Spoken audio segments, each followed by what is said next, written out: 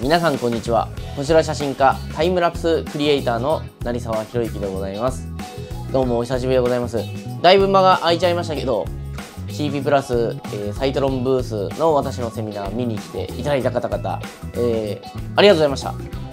まだ動画は見れますのでアーカイブ化されてます。サイトロンジャパンブースのホーム、えー、YouTube チャンネルで、え動画が見れますのでぜひ見てみてください。恒例のですね花粉症が始まっちゃって鼻声なんですよ。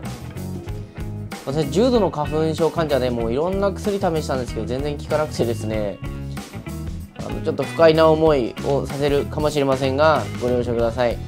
あとなんかいい薬あったらコメント欄でぜひコメントください。お待ちしております。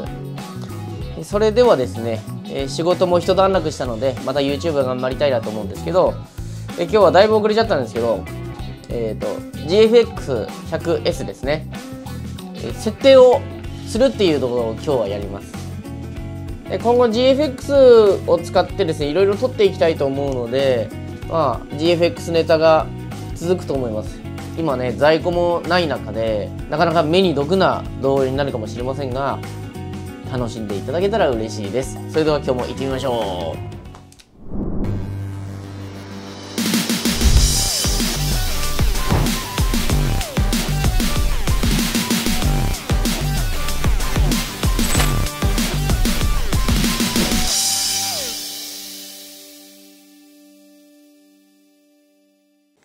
はい、じゃあ接続しまして、こっちも。はい、それではやっていきます。まずはこれ写真モードと動画モードなんですけど、写真モードからやっていきましょうか。はい、まずですね、え、GFX100S メニューから見ていきます。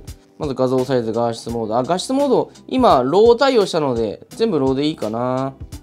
はい。で、ロー記憶方式ですけど、えーと、これ画質素数多いからなでもとりあえず冷やしくでいってみましょうか。タイムラプスの時はロスレス、えー、天体写真の時は冷やしくっていう感じでやるのかな。で、あの定、えー、いつもの通り交換のノイズ低減はマイナス4。はい。それから長秒時低、シャープネスもマイナス4にします。ノイズが増えるからね、これね。で長秒時ノイズ制限はオフにします。色空間は Adobe RGB にしてます。この辺のオートフォーカスのところはいつも私、えー、使わないですけど、オート AF 補助項、これたまにオートフォーカス聞いて赤いの出ると困るんで、これも振ります。えーと、それから、インターバル撮影露出平準化。でこの GFX100S でまたなんかこうタイムラプス関係のね、それこそホーリーグレールがどういう風に撮れるのかとか、まあそういうのがね、まだ変わってると思うので、まだ試したいと思います。えーと、それから、まあ、速攻方式は中央重点速攻にして、シャッター方式は基本的には電子シャッターと。ただ、感度をね、今、感度を12800以上に設定できないんですよ。これは電子シャッターが原因でして、メカニカルシャッターにすると、感度が25600とか51200とか選べるようになります。まあ、普段は1万2800以上にすることは多分ないと思うので、いやでもあるかな。うん。で、フリッカー低減もこれ選べないのは、シャッター方式のせいなのかな。あ、そうだね。はい。ブレモーシモードはオフ。35mm フォーマットモードはとりあえずオフにします。これ使いますけどよく。まあ、こうダーッといって、撮影画像表示、あの、1.5秒に渡しします。ちょっとね、写真見たいんですよ。はい、で縦横自動回転表示はオフにします。マニュアル時のモニター露出はホワイトバランスも露出も反映します。えー、それからフレーミングまあ、縦横自動回転再生も私はオフにしてます。で、画面のカスタマイズ、これ大事ですよ。まず、水準器ね。水準器をちゃんとチェック入れてね。電子水準器も入れるし、あとヒストグラムが最初、チェック入ってないんですよ。これも入れると。いう感じで、えー、やっていきます。はい。いいかな。画面枠も一応出しておきます。はい。画面枠入れると、あの、こうやってね、えー、四角いところが、どこまで映るのかっていうのが分かるようになりますね。うん。このね、情報表示コントラストの調整をね、もあのなんかもっと簡単にこんな深いメニューにしないでワンタッチで切り替えるようにしてほしいなっていつも思ってるんですけど。うーんですね。サブ液晶モニター設定ここの液晶モニター設の設定ですね。えっ、ー、とこれ動画撮影時と静止画撮影時でこういろいろ選べるんですよね。まあでもこれね切り替えれるんですよ。この横のボタンで。だからここは別にいじらなくて OK 背景色は白にするかあここをねここを白にするか黒にするかっていう。感じですけど。まあ黒のままでいいかな。うん。はいグリグリいきますよ。グリグリいきますあファンクション設定はこれ後でやります。えー、レンズラジレリーズオンにしたりカードラジレリーズもオンにしておきます。自動電源オフはまあ2分でいいでしょう。はい。パフォーマンスはノーマルブースト。まあこれは後で選べます。自動電源オフ温度。ああ、これね、温度高くなったらオフにするってやつね。標準でいいです。はい。んで、うん、ふん、USB 給電オンこれ必ずオンです。こんなところかい？うん。で、えっ、ー、とですね、まず、このディスプレイバックっていうボタンを押すと、長押しすると、こういう画面なんですよ。ここでファンクション設定ができます。F1 のところに露出補正とか、F2 の顔認識、えー、サブモニターの切り替え、で、F4 で手ブレ補正。F4 は、F4 で手ブレ、F4 はここですね。ここの握るところのボタンです。F4。液晶モニターを上にスワイプすると 35mm フォーマットモードに切り替わってこっちがフィルムシミュレーションこっちが液晶モニターのブーストで下に下げると、えー、ヒストグラムが出ると。このヒストグラムの表示が、えーと、このスワイプで出すのとディスプレイバックボタンで見るのとねなんか違うんですよね。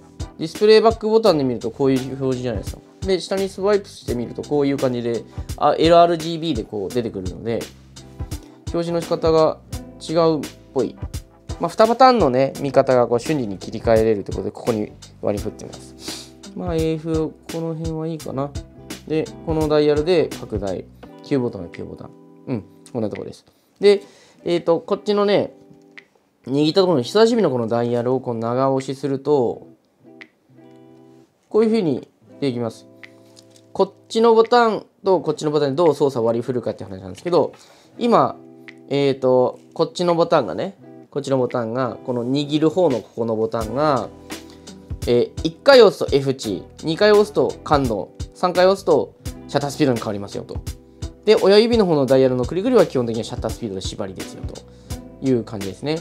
で、このプラスマイナスのところはこれですよね。露出補定の割り当て。露出補定するとき、ここを押しながらこうクリクリでいいんですよねって。で、それがフロントなのかリアルなのかって。フロントってやりづらいよね。リアでいいよね。まあ、両方できてもいいんでしょうけど。ということで、これ設定しておくと、えー、1回押すと、シャッタースピードがいじれますよと。まあ、シャッタースピードは親指に割り当てられるから人差し指でやる必要もないんですよね。で、もう一回押すと、同じダイヤルを操作して感度がいじれますよと。これね、純正レンズつけるとね、F 値もいじれるんですよ。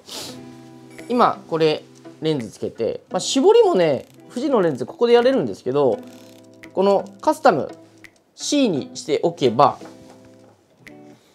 えー、ここのダイヤルをを押し込んだ時にほら F 値も出てくる。だ F 値もここ同じボタンで操作ができて感度も同じボタンでシャッタースピードも同じボタンでって人差し指だけで済みますよっていうのがまあここの設定になります。はい。えっ、ー、とボディ側は、えー、写真の方はこんな感じですね。でこれは動画も撮れるんでちょっとね動画も撮れるっていうからね GFX で YouTube 撮っちゃう？とか思ってるんですけどはい。で、動画モードに切り替え、ここでやります。で、動画モードにしました。はい。じゃあ、引き続きいきますよ。うんと、えーと、動画モード、まあ、4K。4K30p だったら無制限で撮れるんだっけ？うん、確かね。まあ、ファイル形式は、私、え基本的に MOV で撮影してみます。H.264 で、オールイントラ。でも車がブーンって通った時に、写真だとシャッタースピードを遅くしたら、音が引くじゃないですか。で動画だとそのカクカクカクカクってなるはずなんですけどオールイントラでスローシャッターちょっとシャッタースピードを遅めその10分の1とか8分の1とかでやるとこの車の鉱石もちょっと尾を引いたような感じで撮れるんですよね。でまああの基本はこれロング GOP で全然動画記録形式的にはその軽くなるんで問題ないんですけど夜撮影する時だけ私イントラで撮ってますかね。でまあここをですねいろいろいじれるんですけどこのチャンネルではまだ動画のことってそんなにやってないので、ちんぷんかんぷんな方が多いかもしれませんが、これね、えー、ロー撮影最初からできるんだよね、これね。動画ってその普通の圧縮形式とログとローとがあって、まあ、富士フィルムの F ログっていうんですけど、F ログの場合だと、その最初からまあ明るいところと暗いところとちょっとそのコントラストを低めで両方取って後で色をいじるカラーグレーディングがしやすくなるっていう、まあ、そういうものだと思うんですけど、えーと、動画の RAW 撮影っていうのは撮った後でもその感度がいじられたりとかもっと強い画像処理が、まあ、画像処理じゃないですねカラーグレーディングができるっていう、まあ、そういうモードなんですけど通常は、まあ、ニコンとかパナソニックとかも RAW 撮れるものありますけど有料で追加でお金を払って RAW 撮影できるようになるんですよでまあこれは最初からできると、まあ、値段高いからね最初からできて当然か。で、これは今、あの、録画するために HDMI 情報を表示ってします。これオフにすると、あの、こうやってね、えー、表示が消えます。